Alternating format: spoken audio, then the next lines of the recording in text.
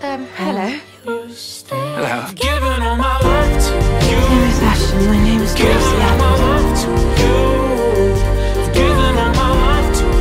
you. Are not what I expected. How did you murder Mr.